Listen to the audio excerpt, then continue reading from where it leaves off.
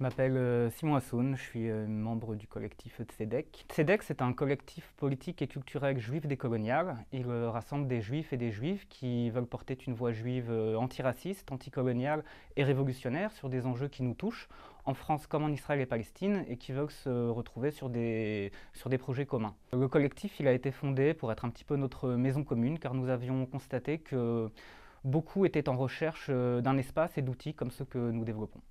Euh, on peut simplifier, résumer euh, en tout cas notre démarche décoloniale en deux points.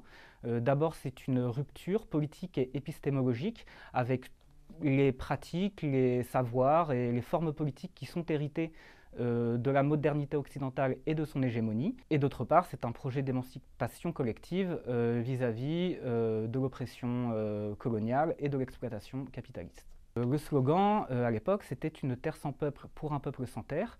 Sauf qu'il y avait en Palestine un autre peuple qui n'a pas été consulté et qui a toujours été mis hors de l'équation.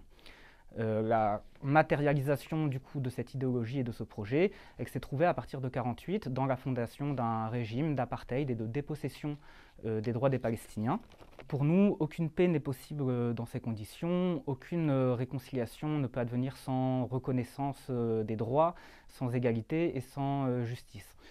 Cette terre, elle est assez grande pour accueillir tout le monde, mais ce qui est trop étroit de notre point de vue, c'est le système colonial la question de un ou deux États, pour nous, elle est secondaire si euh, n'est pas d'abord posée la question euh, de l'égalité des droits et euh, de la justice. On ne peut pas penser d'abord les formes organisationnelles que prendront une future solution sans penser d'abord au contenu des rapports sociaux qui seront mis en place par, par un ou deux États.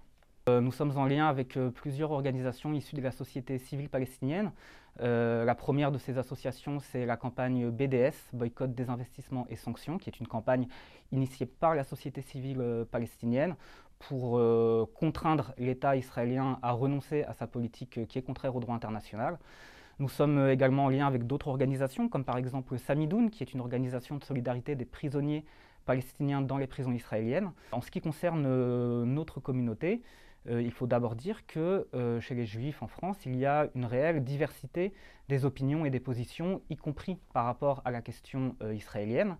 mais qu'en revanche, ou en tout cas la plupart de nos représentants et dirigeants communautaires, de par leur parti pris, étouffent cette pluralité et soutiennent plus ou moins inconditionnellement la politique israélienne. Donc on ne se sent pas soutenu par ses représentants, par ses dirigeants, bien qu'on sache et qu'on fasse l'expérience de cette diversité euh, des opinions qu'il y a euh, au sein du, dans le paysage euh, du judaïsme français.